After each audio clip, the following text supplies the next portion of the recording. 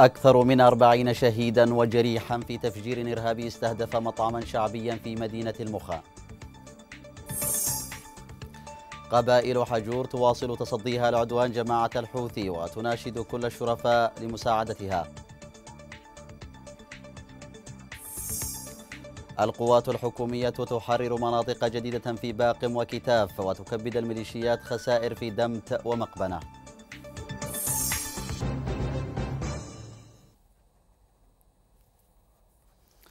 أهلا بكم. محاولات حثيثة لإحلال السلام في اليمن وإنهاء معاناة اليمنيين التي طال أمدها. تقابلها ميليشيات الحوثي الإرهابية بمزيد من الجرائم والانتهاكات وحرف بوصلة السلام المنشود من خلال استمرارها في إشعال فتيل الحرب العبثية التي تسببت فيها منذ أكثر من أربعة أعوام وأتت على كل شيء في الوطن وأحالت حياة اليمنيين إلى جحيم لا يطاق. لكن صبر القوات المشتركة للمقاومة اليمنية والقوات الحكومية لن يطول وسيضع حدا لكل تلك الممارسات والانتهاكات وإنهاء عبث ميليشيات الحوثي. ومشروعها العنصري المقيت.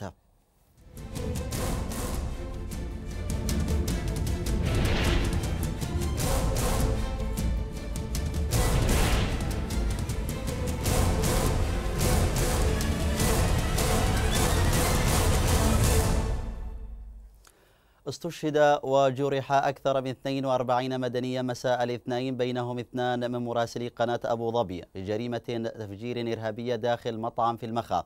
مصادر محلية أكدت لوكالة الثاني من ديسمبر الإخبارية أن خلية إرهابية تابعة للميليشيات الحوثية استهدفت بعبوة ناسفة مطعما شعبيا أمام فرزة عدن لحظة اكتظاظه بالزبائن. وفي حصيلة أولية أفادت المصادر أن الجريمة أسفرت عن استشهاد ستة وجرح ستة وثلاثين من أبناء المخا ومسافرين وعمال من المطعم. جراح بعضهم خطيرة وأضافت المصادر أن بين الشهداء أحد مراسلي قنوات أبو ظبي الصحفي زياد سيف عبد الله نعمان فيما أصيب زميله فيصل عبد الرحمن الذبحاني أثناء تواجدهما في المكان مشيرة إلى أن الانفجار وقع قرب بوابة المطعم.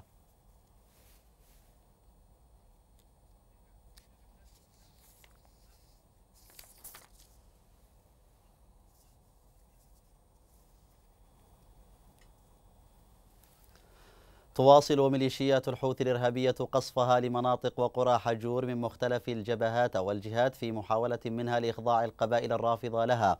مصادر محلية ذكرت أن ميليشيات الحوثي شنت محاولات عدة للهجوم من نواحي أو من ناحية الدرب وتم التنكيل بهم وهربوا يسحبون جثثهم. كما حاولت الميليشيات اختراق الجنوب الشرقي باتجاه ذي ريبان وصدهم الأبطال من رجال القبائل بالرغم من المحاولات المستميتة لجماعة الحوثي.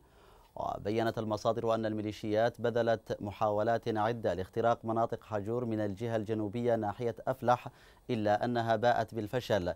هي الأخرى. وأكدت المصادر أن الميليشيات تحاول منذ صباح اليوم إجبار القبائل على الخضوع لها وتسعى لشن هجوم كبير بدأته بالقصف بالمدفعية الثقيلة والدبابات على العبيسة في ظل تحشيد متواصل للميليشيات الحوثية من جهة عمران بالمعدات الثقيلة والأفراد. بالمقابل يتوجه الأحرار من رجال القبائل المساندة لمساندة إخوانهم في حجور في ظل إدراك المغرر بهم. بشاعة الجرم الحوثي والانسحاب من صفوف ميليشياته.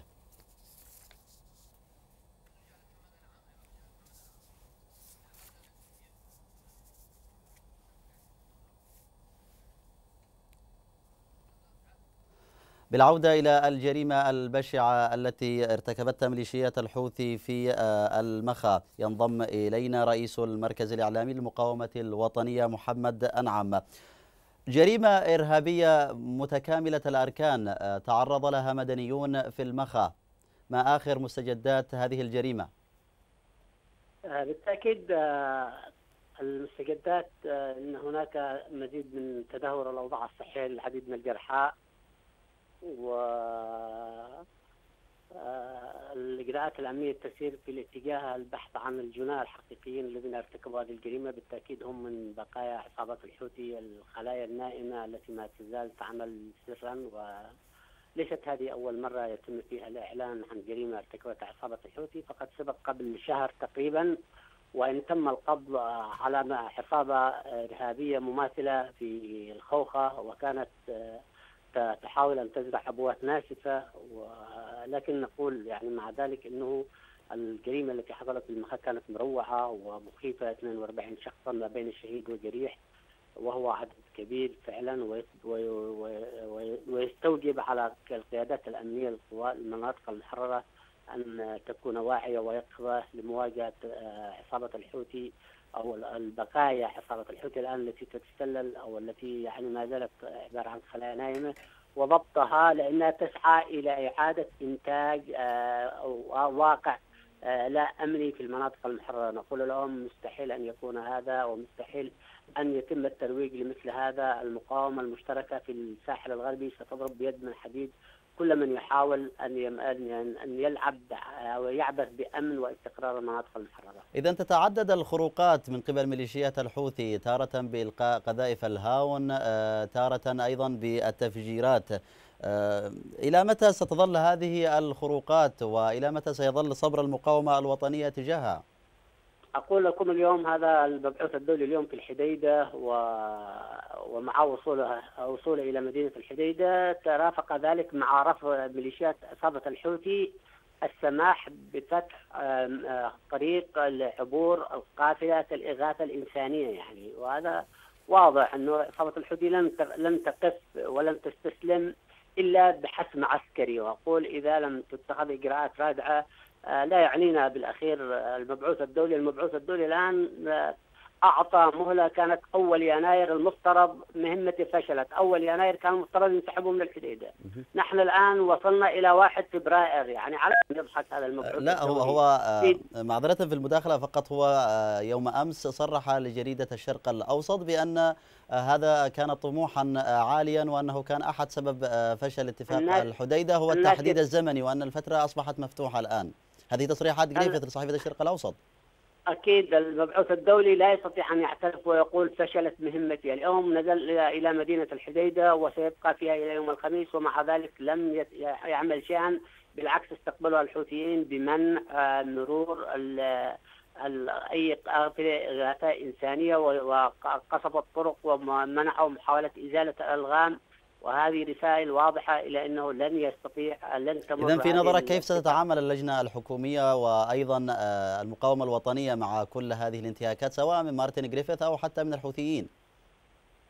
حول اتفاق ستوكهولم. نحن آه، المقاومة المشتركة آه، هي بالأخير لها سقف زمني لصبرها ولن تستطيع أن تقف مكتوفة الأيدي وهي تمتلك القوة والرجال والمعنويات العالية وإلى جانبها جماهير الشعب.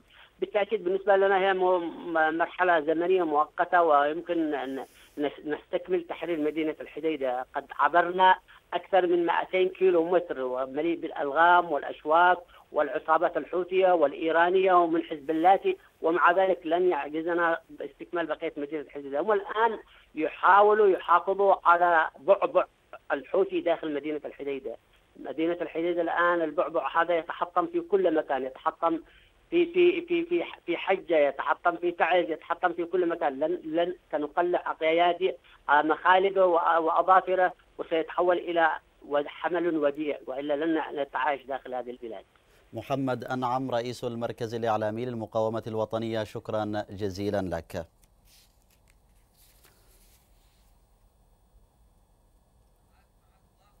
جهود دولية وتفاعل من قبل المقاومة اليمنية والجانب الحكومي في التعامل مع تلك الجهود. يقابلها إمعان حوثي في خرق اتفاق وقف إطلاق النار في الحديدة واستهداف مواقع المقاومة في المدينة والجاح.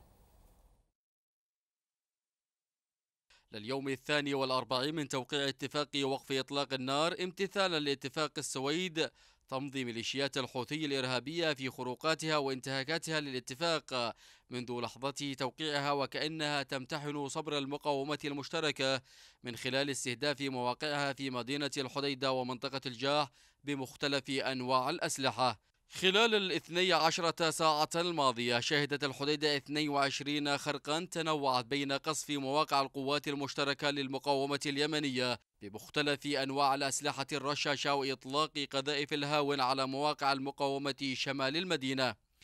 كما استهدفت ميليشيات الحوثي الإرهابية رجال المقاومة شمالي المدينة بعمليات قنص خلفت إصابات في أوساطهم في الوقت الذي يلتزم فيه أبطال المقاومة أقصى درجات ضبط النفس.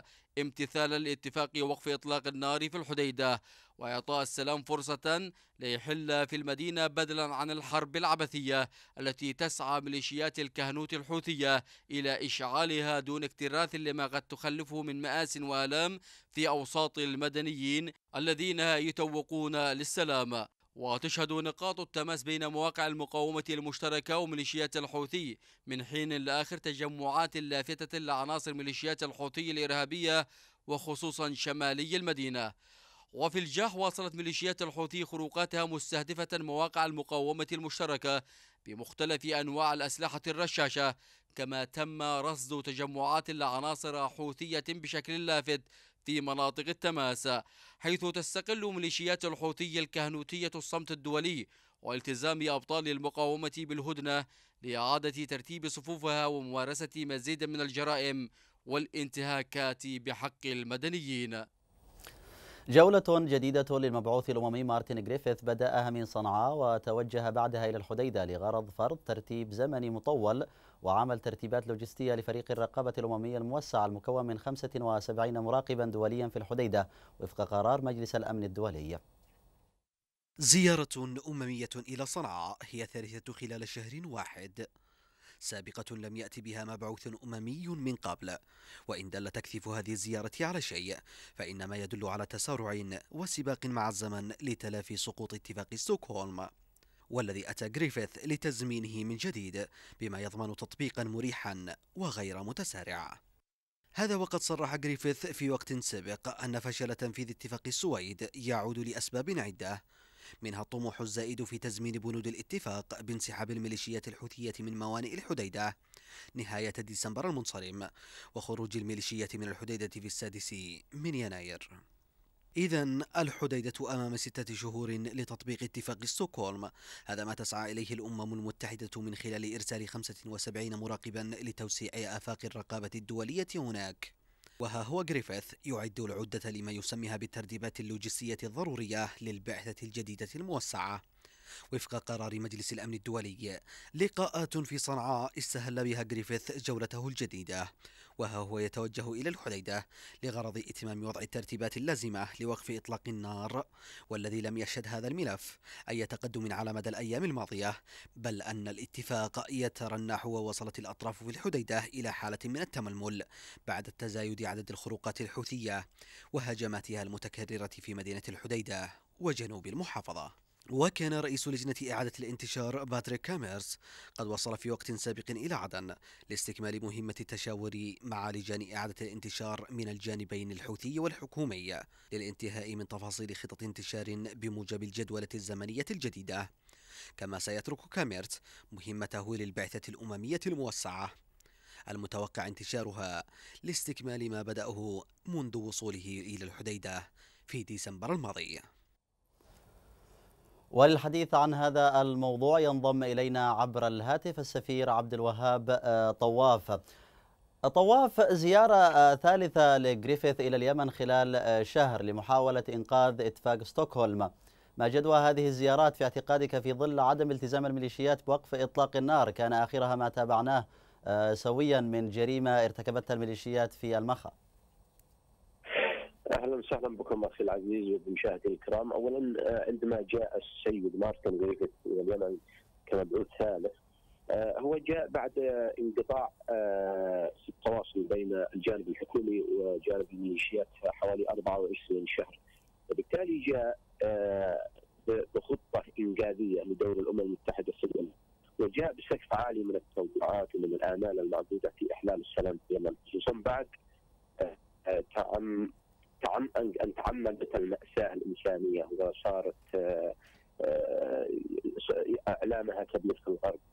وبالتالي جاء إلى اليمن في محاولة آه، عمل اختراق وعمل زيارات مكوكيه في صنعاء والرياض وبعض الدول لمحاولة عمل شيء.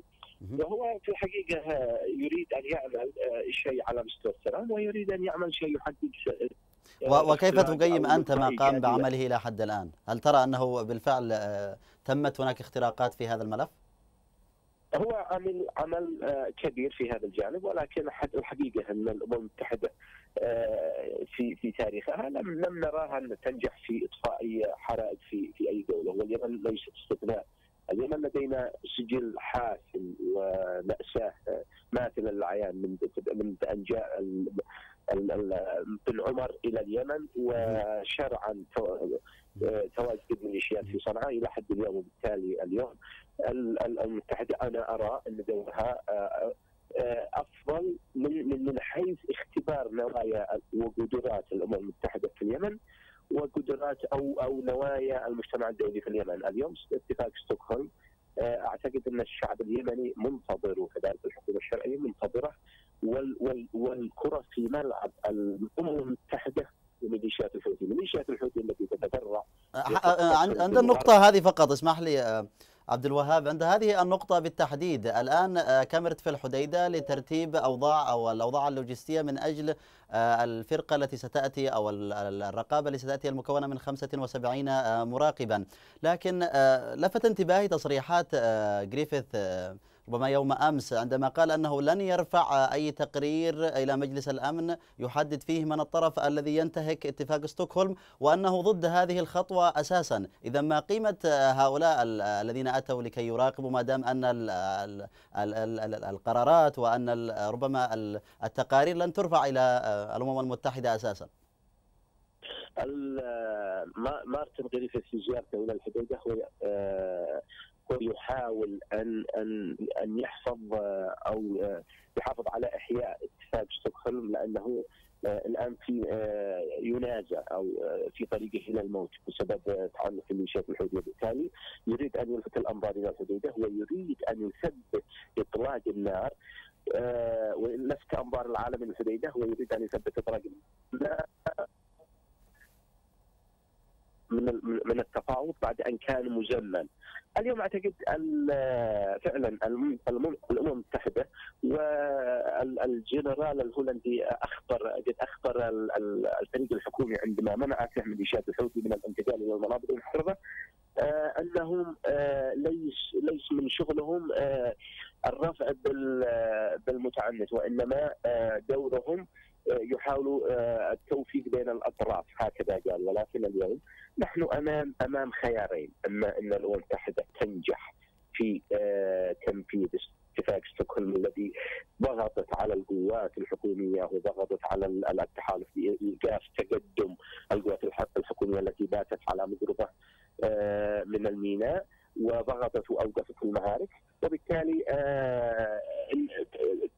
تذهب لتنفيذ هذا الاتفاق الذي رعته ورفعت الامال للعالم كله ان السلام سيحل أو على ال على ال على الامم المتحده في رأيك أنت هل ستنجح أم لا؟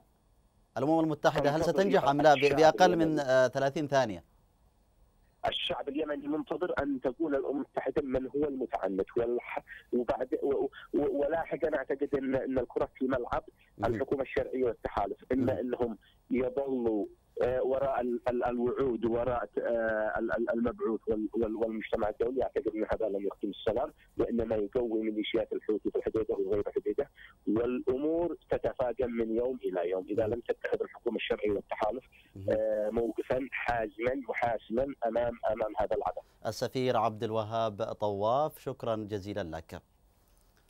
تمكنت القوات الحكومية من صد تسلل الميليشيات في التباب وجبل شيحاط بمركز مديرية باقم مخلفة عددا من الجرحى والقتلى من عناصر الميليشيات الحوثية بالإضافة إلى فرار عدد كبير منهم لم تنتهي المعارك في محافظة صعدة سواء في جبهتها المفتوحة بالغرب أو الشمال إلا أنها تدخل طورا جديدا من المواجهات فكانت قوات الجيش قد بدأت بعملية نوعية ومختلفة مطلع هذا الأسبوع. استهدفت بعمليتها عدة جبهات تركزت في رازح ومران وباقم وكتاف. كل هذه الانتكاسات المتتالية التي تتلقاها ميليشيات الحوثي زعزعت صفوفها وجعلتها أكثر تخبطا. اليوم كان لها هجوما في شمال مركز باقم. كانت تحاول الوصول إلى تبة قريبة من جبل شيحاط إلا أنها لم تنجح في ذلك. دارت المعارك منذ فجر اليوم حتى العاشرة صباحا ودخلت المواجهة فيها مرحلة متقدمة وأكثر عنفا. خلفت أكثر من خمسة قتلى من الحوثيين وعشرة الجرحى وتمكن أبطال لواء العاصفة من صد الهجوم بشكل كامل. تم بفضل الله ومنته ثم بفضل اللواء العاصفة ورجاله الأشاوس صد هجوم ميليشيات الحوثي. وبفضل الله ومنته آه، هناك الكثير من الجثث المترامية في الشعاب وهناك جرحى آه، كثير لا يحصى العدد. المعارك ترافقت بإسناد من طيران تحالف دعم الشرعية حيث استهدف عربة إمداد محملة بمسلحين تابعة للحوثيين في نفس التبة القريبة من جبل شحاط. تأخذ الحرب في هذه المديرية بعدا عسكريا واستراتيجيا كون هذه المناطق هي الوحيدة التي لا تزال الميليشيات تحتمي فيها.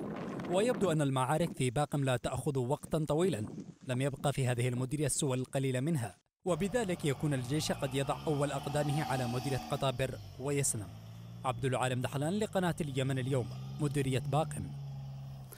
وفي سياق متصل تمكنت القوات الحكومية من تحرير سلسلة جبال سحامة ومرتفعات العاديات وجبل الوقار والهيج بالقرب من مركز كتاف غربي محافظة صعدة. وكبدت الميليشيات خسائر فادحة في العدد والعتاد.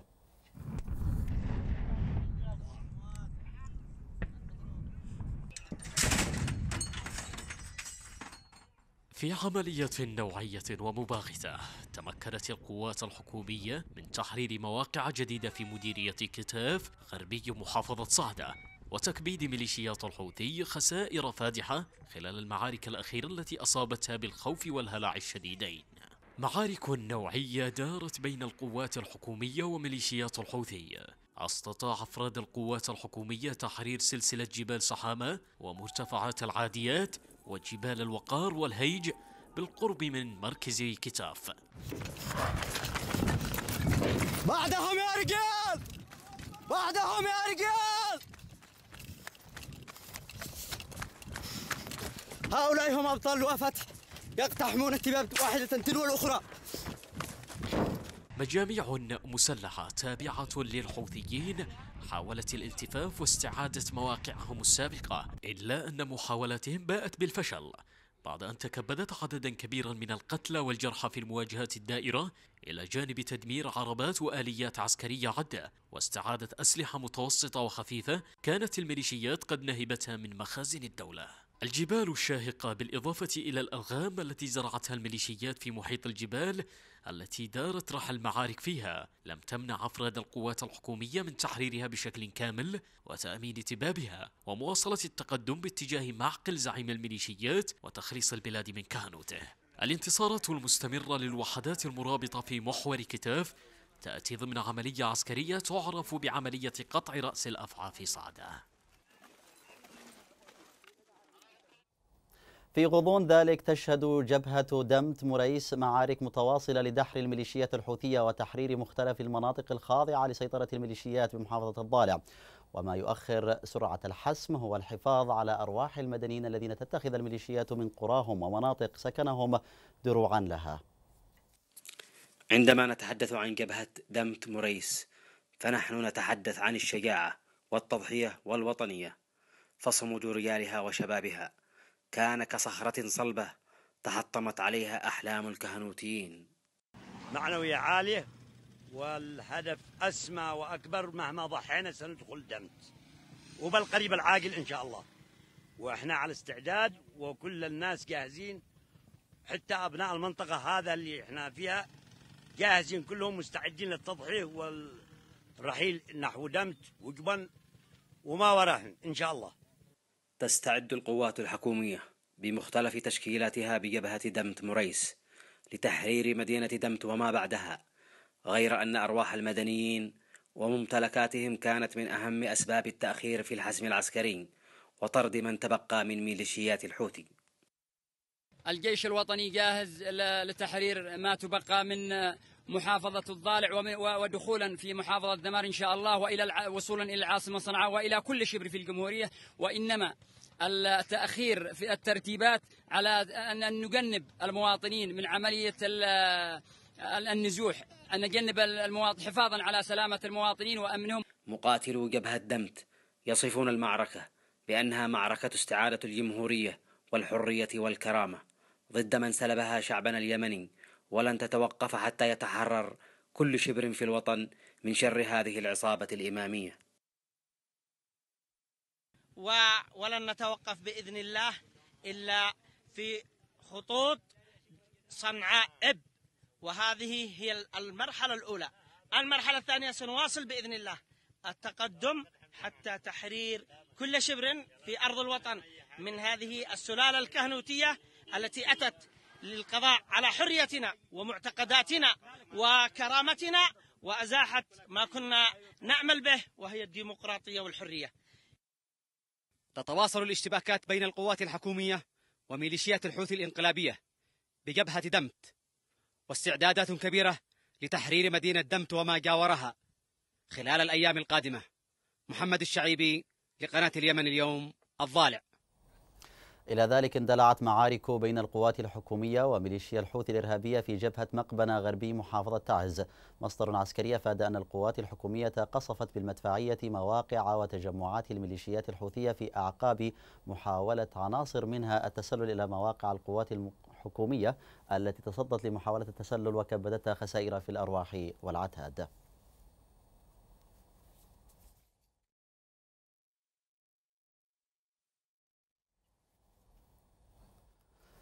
قتلت الميليشيات الحوثية الإرهابية امرأة في عزلة القحيفة بمديرية مقبنة غربية المحافظة. مصادر محلية أفادت أن قناصا حوثيا استهدف برصاصة المواطنة وجيه أحمد محمد قائد حزام أمام منزلها في عزلة القحيفة. وكان قناص حوثي قتل في وقت سابق المواطن المسن نعيم عبد الله صالح في بلدة الشقب التابعة لمديرية صبر الموادم. تصاعد ميليشيات الإرهاب الحوثية جرائمها وانتهاكاتها بحق المواطنين خصوصا الأطفال والنساء في مدينة وريف تعز حيث سقط المئات من المدنيين غالبيتهم من النساء والأطفال. جراء استهدافهم من قبل ميليشيات الحوثي الإرهابية بقناصتها ومدفعيتها والألغام والعبوات الناسفة. يواصل معلمو التربية والتعليم في المناطق الخاضعة لسيطرة ميليشيا الحوثي إضرابهم عن التدريس ونقابة المهن التعليمية والتربوية تؤكد استمرار الإضراب. مصدر في نقابة المهن التعليمية والتربوية أكد أن المعلمين والمعلمات وكافة التربويين مضرب مضربين عن العمل حتى يتم صرف مستحقاتهم المنقطعة من قبل ميليشيا الحوثي. وأوضح المصدر أن الميليشيات هددت المضربين بالفصل والاعتقال في حال لم يرفعوا إضرابهم. وأكد المصدر حرص النقابة على مستقبل الطلاب وأن قرارها بالإضراب لم يكن ليحدث لولا تعنت ميليشيا الحوثي واستمرارها برفض صرف مستحقات المعلمين.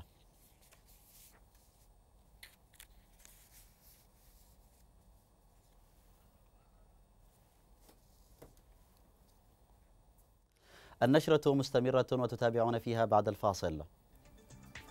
قصف الميليشيات الأحياء السكنية يضاعف معاناة كبار السن ويشرد الأسر بتعز.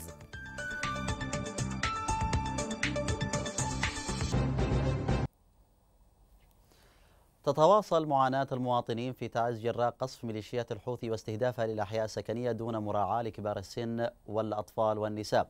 الأمر الذي دفع الحاج سيف للإقامة في أحد المساجد بعد تدمير الميليشيات لمنزله وتشريد أسرته. هي الحرب وحدها من جعلت الحاج سيف شريدا طريدا وقد بلغ من السن عتية. ليظل قصة تلخص معاناة تعز المحاصرة. فكم تحمل هذه العين البرية من قصص لا يمكن أن تحتويها الكلمات. ستين عام هو ما بلغه الرجل من العمر. لم يكن شفيعا له حتى لا يطاله أذى أو مكروه من قبل الميليشيات الحوثية. أربعين عام من الاستقرار الأسري لأسرة فيه الزوجين ولهم من البنات اثنتين. لي أربعين سنة بالبيت حقي مستقر أنا وأولادي شاقة على أولادي وبناتي وزوجتي. والآن أصبحت مشرد لا أولاد ولا زوجة ماتت. وبناتي في جهة وأنا مشرد أنا راقد في الجامع بجهة. بيتي تدمرت. وأصبحت الحمد لله أنا شيبة معزول لا أقدر بشتغل ولا حاجة. وراعي اللي شح أقسم والله ربي من الناس ينزل لي اللقمه وبناتي عند الناس بالحضن دخلت ميليشيا الحوثي منزله وبعد دحرها عادت لتقصف المنزل بقذائف الهون لتحوله إلى ركام بعد إن سورته بالألغام.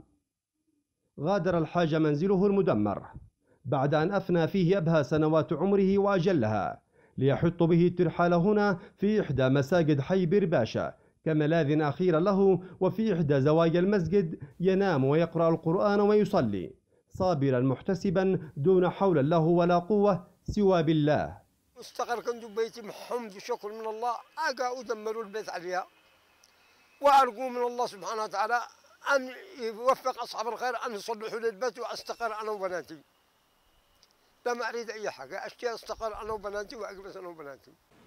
بلحظات عابرات تشتتت الأسرة وتفرقت في حي البعرارة. رحلت الزوجة أولا عن الحياة واستشهد زوج إحدى البنات بقذيفة تاركا ابنة الحاج سيف أرملة مع طفل رضيع. ولما أذكر بناتي ما أقدرش أتحمل الصراحة. بقول لك بحق الله. لما أذكرها ما أقدرش أتحمل ولا أقدر أتهادى لا أستعجب لما أذكرها بعد. لما تقول البنت بعد منك إن كانت ورا ظهرك تحضنيه مو تحتاجي بنتك قال احتاج حاجة بلون تحضنيه ترقد وانت آمن تقوم بالليل تقمش القهر وانت مطمئن مرتاح وجنبك راقد. أنا ما اذكر ما أقدرش أمسك أعصابي. الصراحة ما فيش أحسن منه. لما اذكر ما أقدرش أتحمل. أما عن حلم أحلامه وغاية أمانيه سكن يلملم فيه شتات أسرة أتعبها الفراق والنزوح. حلمي أنا إن أنا أشتي أستقر أنا وبناتي.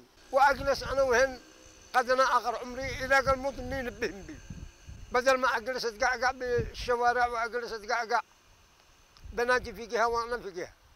لهذا ستظل قصة الحاج سيف نموذج مصغر لمعاناة طال أمدها في تعز دون بشارة بقادم جديد ومتعافي. عواد الوهباني اليمن اليوم تعز. طالبت رابطة أمهات المختطفين الأمم المتحدة بالضغط على ميليشيات الحوثي لإيقاف الانتهاكات بحق المختطفين في ظل توقيعها على اتفاق السويد الرامي إلى إطلاق سراح جميع المختطفين والمخفيين قسرا. وأكدت الأمهات في وقفة احتجاجية أمام المفوضية السامية أنهن ينتظرن نتائج لقاء الأردن بعد فشل تنفيذ اتفاق السويد في وقته المحدد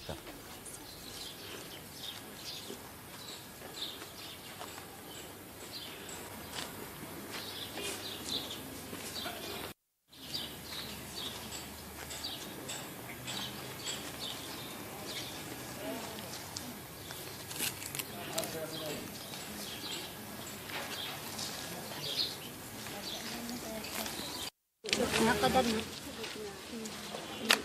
إحنا نأمن الخير في الاتفاقية حق السويد خرجوا عيالنا. عيالنا محرومين من الشمس. عيالنا مريضين. لا عاد بيستروا يقوموا. ولا يجيسوا. محرومين من شمس الله. ربي ما حرمها على أحد. اخرجوا عيالنا. تعبنا اليوم أربع سنين. أحرموهم الأكل. أحرمونا الزيارة. أحرموهم العلاج.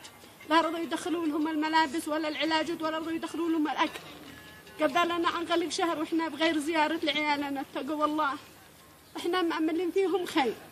ارجعوا إلى الله سبحانه وتعالى. هؤلاء عيالكم سمع عيالنا. خافوا الله اتقوا الله في عيالنا اتقوا الله يا رب ما لنا إلا الله سبحانه وتعالى. ثم هذا الاتفاقية أنهم ينظروا إلى عيالنا بعينهم الرحيم بعينهم الرحيمة. بس هذا نشتي أنهم يخرجوا عيالنا. إحنا تعبنا اليوم أربع سنين. محرومين من عيالنا. من زيارة ابني جار. لا رضوا يدخلوا أكل ولا علاج ولا ملابس. والله أنهم كل كل ما أشيل الملابس يردون كل ما أدخل العلاج يردوا تقوا الله خافوا الله.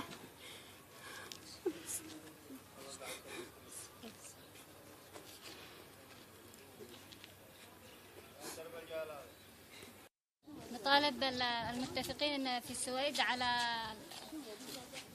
على سرعة إطلاق المختطفين والمخفيين قسريا. فنحن قد تعبنا من المطالبة. أربع سنين ونحن نطالبهم بإطلاق سراحهم دون قيد أو شرط.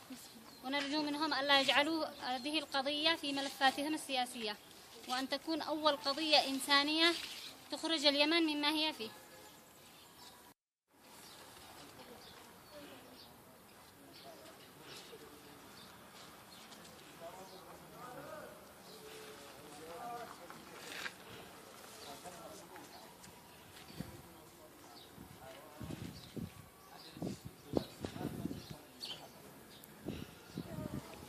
رابطة أمهات المختطفين حول مستجدات أوضاع المختطفين بصنعاء في ظل اتفاق السويد. تترقب رابطة أمهات المختطفين نتائج لقاء الأردن التي بدأت الأسبوع الماضي بعد فشل تنفيذ توقيع اتفاق السويد في وقته المحدد بين طرفي المشاورات الحكومة الشرعية وجماعة الحوثي المسلحة. وتأسف الأمهات لكل هذه المماطلة اللا مسؤولة. والابتزاز اللا إنساني في حقوق أبنائنا التي كفلتها لهم الأديان وسائر القوانين في الحرب والسلام. ونحن اليوم نقف أمام مؤشرات تجعل قلوب الأمهات في حزن وقلق مضاعف حيث تستمر جماعة الحوثي المسلحة في ارتكاب الانتهاكات بحق أبنائنا المختطفين والمخفيين قسرا داخل سجونها. فقد قتل ستة تحت التعذيب وبسببه في مناطق سيطرة الحوثي. كما أنها تمضي في محاكماتها الهزلية لأبنائنا وتمنع الزيارات عنهم وتمنع إدخال الطعام والشراب والأدوية لهم وتحرمهم من التعرض للشمس في سجونها بصنعاء وتتعمد إهمالهم صحيا مع انتشار السل في سجونها بذمار واستمرار إخفاء العشرات من أبنائنا من أبناء محافظة الحديدة ولم تتوقف آلة الاختطافات بحق المواطنين فقد تم اختطاف 36 مواطنا في عدد من محافظات الجمهورية.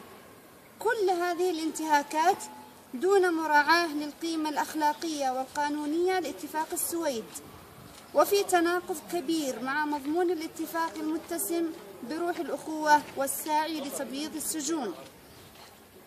إننا ومن أمام مكتب المفوضية السامية, السامية لحقوق الإنسان بصدى وهي المخولة بحماية حقوق الإنسان في العالم كما أنها الراعية لتنفيذ اتفاق السويد والضامنة له الضغط لإيقاف هذه الانتهاكات وفرض حمايتها للمختطفين حتى إنجاز الاتفاق وتنفيذه بما يحقق حرية المختطفين والمخفيين قسرا وسلامتهم. ساطر عن رابطة أمهات المختطفين صنعاء 28 يناير نهاية النشرة عودة إلى العناوين. أكثر من أربعين شهيدا وجريحا في تفجير إرهابي استهدف مطعما شعبيا في مدينة المخا. قبائل حجور تواصل تصديها لعدوان جماعة الحوثي وتناشد كل الشرفاء لمساعدتها.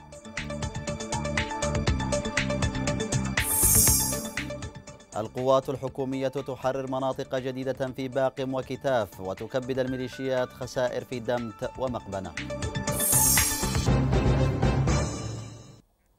ألقاكم في نشرة الخامسة والنصف. إلى اللقاء.